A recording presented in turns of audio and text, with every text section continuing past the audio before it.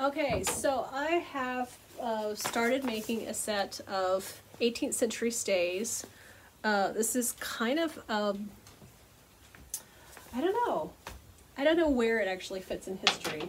But basically this is how far I've gotten. I've made them using a old denim shirt, a little bit of linen I had laying around, and a stripy shirt. You can see this one of Xavier's old shirts. Both the denim and this stripy shirt are Xavier's old shirts.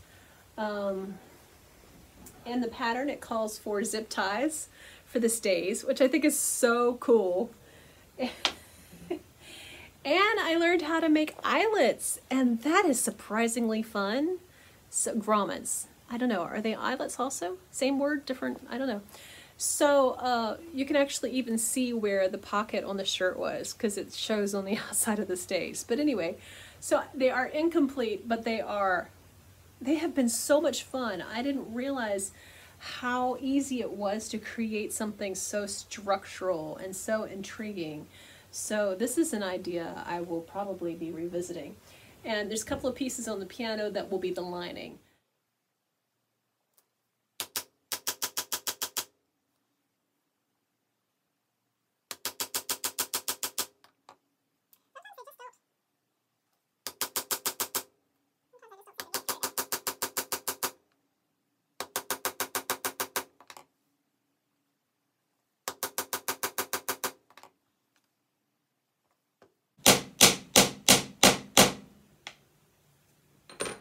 All right, let's see how far we got.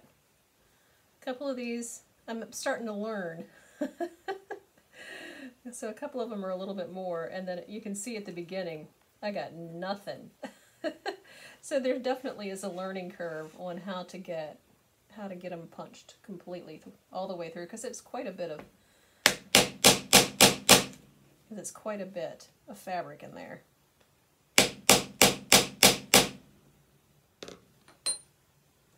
Almost.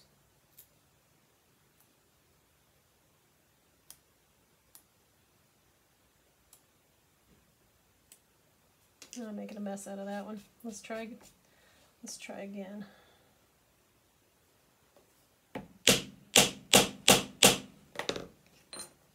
Sounds like it's through. There we go. That one is through. All right, let me clean up this mess of fabric spots. I don't know what the trick is to getting them all out of here. There we go. So, put that back in the box. But first of all, let me go ahead and clean up these little guys, and then we'll go ahead and start the uh,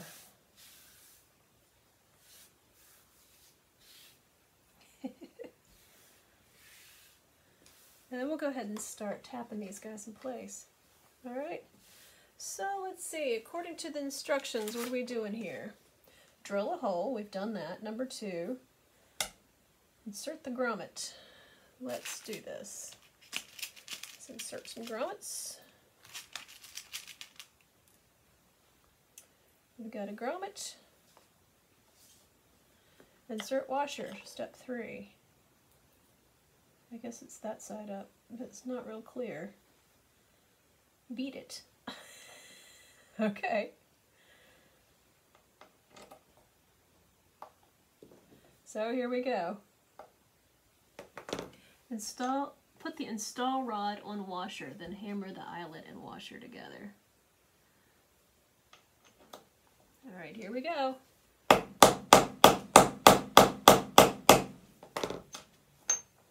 Hey, that's cool. It works. Okay, follow me on, get the little fuzzies out of the way, get the washer in place, then fit that baby on there and give it a whack.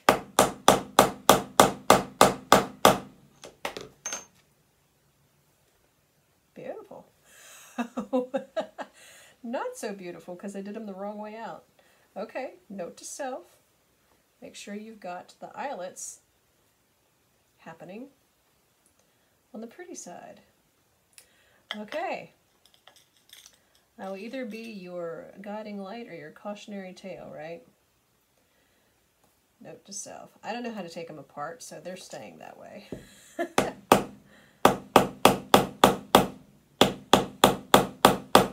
and besides, this is a foundational garment, so I'm thinking probably not going to be seen a whole lot.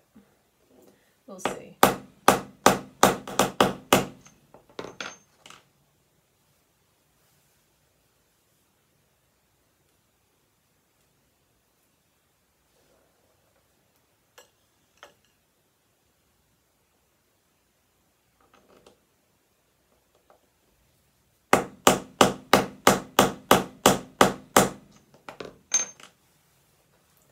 And there they are. I'm very happy with all of these except the top two, and that's fine. I did the top two backwards. No worries. I think, right? That's the back of my set of 18th century stays made out of recycled fabric. so I bought these zip ties. They are 36 inch extra heavy duty white cable ties, okay? Look like this. a whole bunch of them. And they fit into the channels like so. It's actually really quite easy to get them in, which I think is really cool. So what I'm going to do is cut them so that there is the right amount of space left over. And then, okay, we're seeing that's not the easiest thing said or done. And then there are sharp pointy edges. And that's where the sandpaper comes in. So I'm going to scoot this over and I've got the sandpaper. And what I'm going to do is just pull the edge across and get the sharp pointy bits knocked off, okay?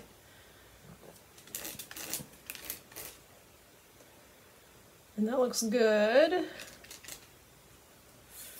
And this already is kind of the pointy business because that's the end. So that's what I'm going to do. We're going to go ahead and just put them in one by one.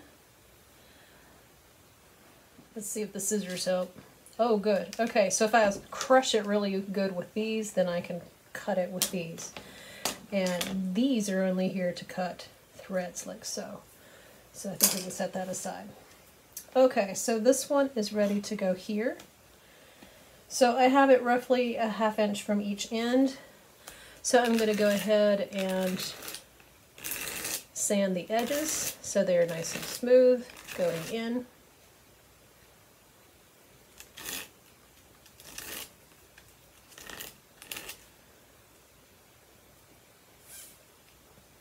Okay, so let's try this.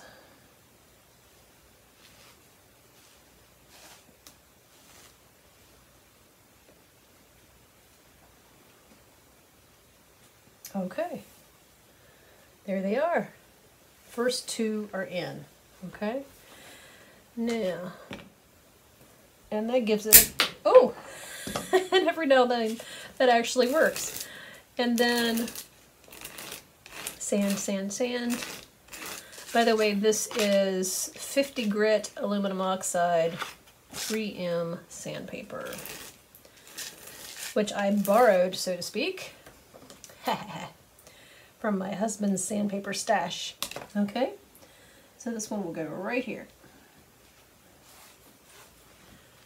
And it goes, and we're just going to give it a little push. So you can see where these edges are.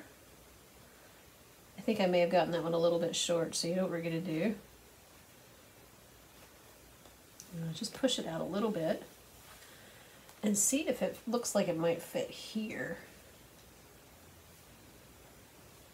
Yeah, see, I feel like I got it about a quarter inch too short. So what we're going to do is we're going to find another place to put it.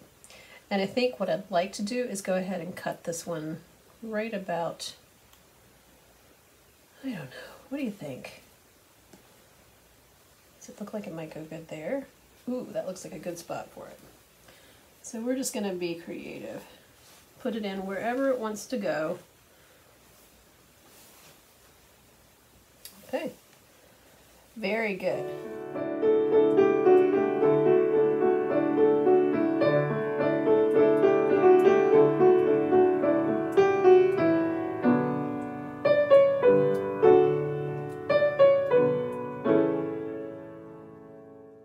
So this evening I sewed together the inner lining of the 18th century stays. Uh, I used the legs of a pair of jeans and um, behold the batness of my corset. and um, that's how the other side looks. And so what I think is kind of fun about this is that these different layers, the outer layer on the front is a denim shirt, came from a denim shirt. Then there's some a layer of linen that I had just had laying around. And then the inner layer is also a shirt. And then this side is made from a pair of my jeans. So the next job is to go around and do the binding, which is not unlike a quilt, so that'll be kind of fun.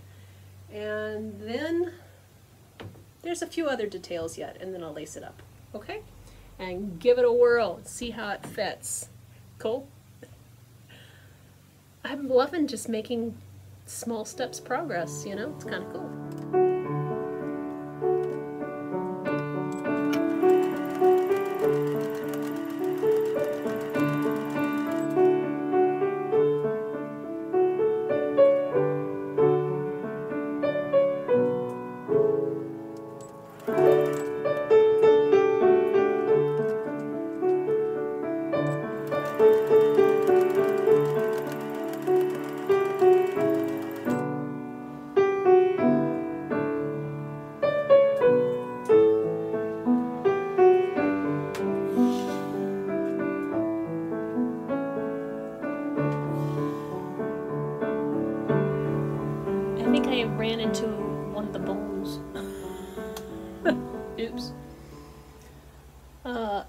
There's not much that can't be fixed by hitting the uh, reset button.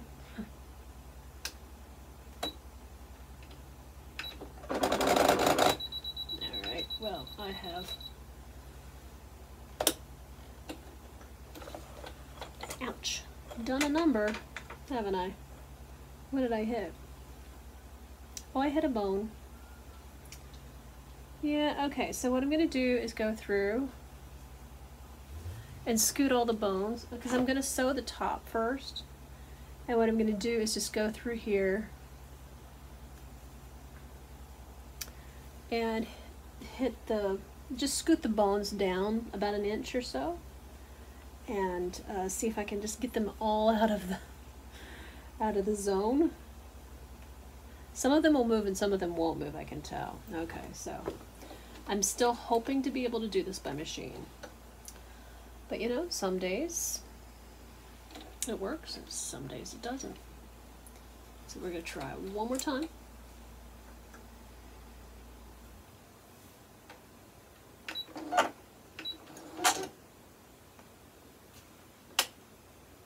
Did I ruin it?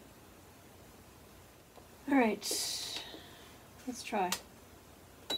Does it wake up without hindrances? Yeah, it does. Okay, let's see.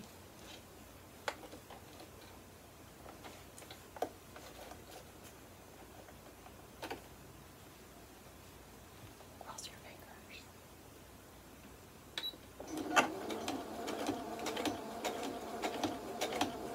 I'm going very slow.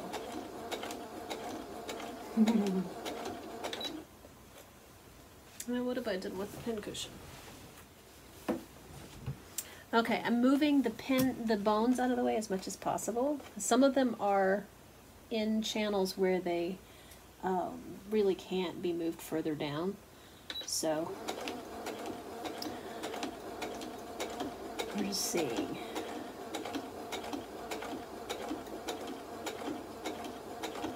I'm just taking it very slow because I really don't want to break the needle.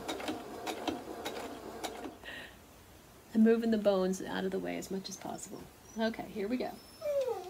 Yeah? You hear my doggy. What do you suppose my doggy needs? You need to go see daddy? Yes, I hear a squeaky dog.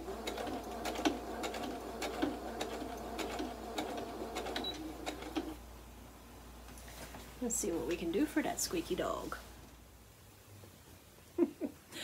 I had an old linen tablecloth that must have come from family from a very, very long time ago.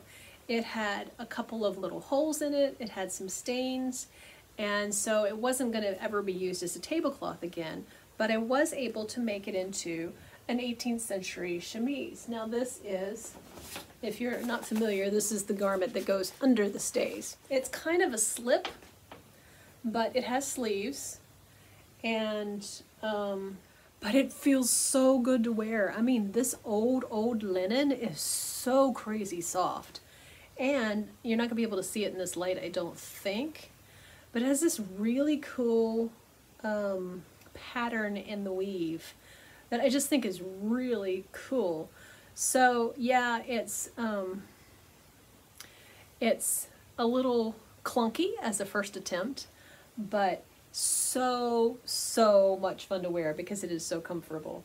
So that is part of my capsule wardrobe um, project. They say, uh, history bounding folks say, start with undergarments. if you want to wear uh, historical clothing, start with the undergarments. So I think more than anything, I just wanted to try it and have the experience of making a chemise and a corset.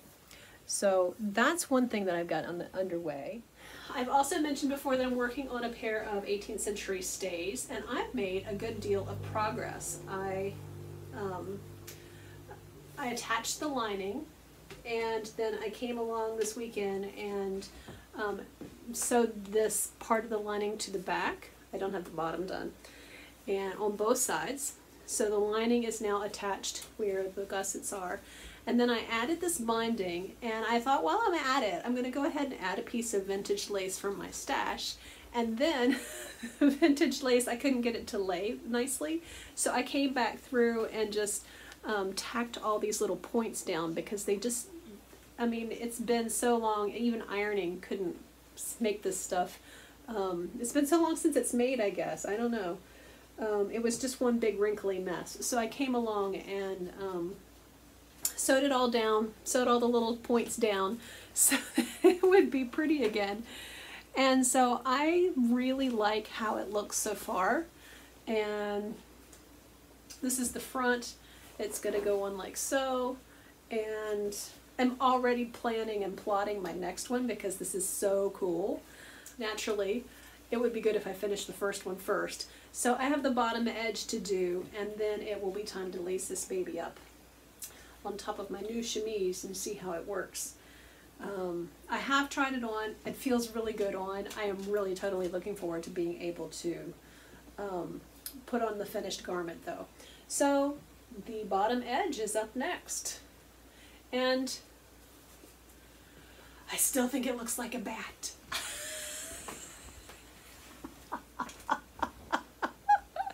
hey everybody, I am here with the uh, 18th century stays that I've been working on. I have, um, I came through here and just uh, did a little bit of sewing at the each one of these at the end of the um, zip ties that I used as boning. And so that keeps it in place and it also shows me when I go to sew along this edge where the end of the thing is. So um, that's one little thing that I did. Um, I thought it would be a little cuter I thought it would be a little bit more decorative. It turned out to not be all that great, but it's okay. Uh, again, I'm trying to tamp down my urge for perfectionism and really keep it in the, because the more I want to make it perfect, the more I just am not going to get it done. So it's really important for me to kind of soldier on even though it's not perfect. I did uh, bind the top I think it doesn't look that great. I haven't tried pressing it. It doesn't look that great, but you know what? Again, I'm working against my own perfectionism. I am binding with strips of linen that um, from a piece of cloth that I hand dyed ages ago. So it's kind of, it goes from this uh, pale blue on into kind of a pale pink uh, with all the lavenders and stuff in between. So as I need a strip, I just hack off another piece and then sew them together. And I'm going to try. I, I really thought about using cotton twill tape, which I read in the book about corsets is the more um, authentic, historically accurate way to do it, but Again, since I'm not really doing this for uh, historical accuracy, but I'm more going for just having a really cool garment to wear, um, I think I am going to continue using the same kind of binding that I used at the top, but I'm probably not going to add the lace this time uh, on the bottom. So I am having a little talk with myself about how it's okay if it doesn't end up perfect. I'm a little um, you know, when it, I know how to bind this part, but you know, these little pieces at the top, that's the part that has me a little bit um, feeling insecure and overwhelmed. So I'm just gonna try and um, really try to not let my perfectionism get the best of me because it, you know that can really take the fun out of it sometimes. So I'm just gonna try. We're gonna try to really keep this wabi sabi and try to get this part finished up because I want to wear it. I really want to wear it because I think it'll be fun. I just, I really think it'll be fun. So I have some linen, hand dyed linen. I have uh, the bottom to finish, and I have needle and thread. So I really, I have nothing left but excuses. I'm going to force myself to sit down and do this.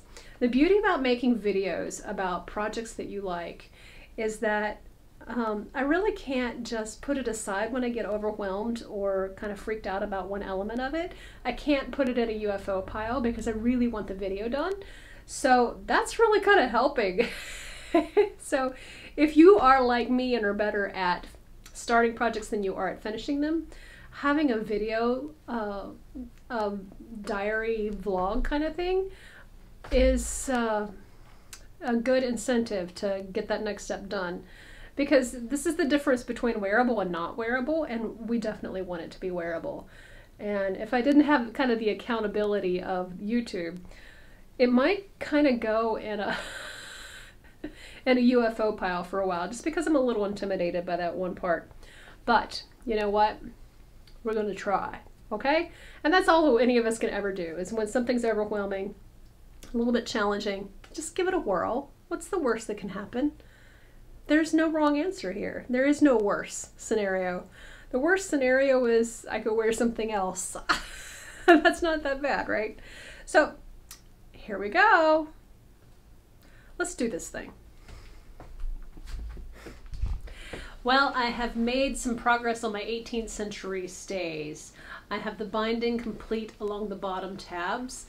I found this to be the least fun of all of it that I've done so far. The most fun, I think, was putting in the grommets and doing the boning channels with the zip ties. That was really fun.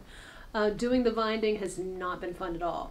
Now, the only thing left on it is to uh, attach straps. It gets a strap here to strap here.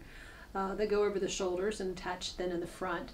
And I don't have that complete, but otherwise I think this is very ready to wear. And I'm kind of looking forward to trying it on and seeing how it uh, changes my shape, if at all. And um, yeah, so thus far I have purchased the pattern, the zip ties, the grommets, and I think that's it because the um, the outer layer of denim came from an old shirt. The two inner layers of cloth came from an old shirt. The uh, denim lining came from a pair of jeans. And the lace was in my stash, and this hand dyed linen was also in my stash. So um, I have very little invested, and you can even see the pocket. you can even see the pocket on the shirt because I thought to myself, I didn't really think this through, obviously. I thought to myself, wouldn't it be fun to have a pocket in the corset? Well, of course, by the time you put the boning channels in there, there's no way to actually use the, the pocket, but that's beside the point. I am pretty happy with it. So I guess it's time to uh, put those straps on and try her out.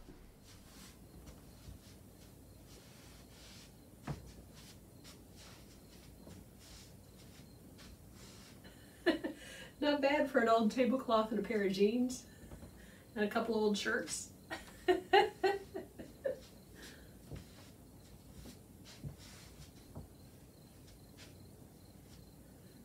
Feels funny, but I could get used to it in a hurry.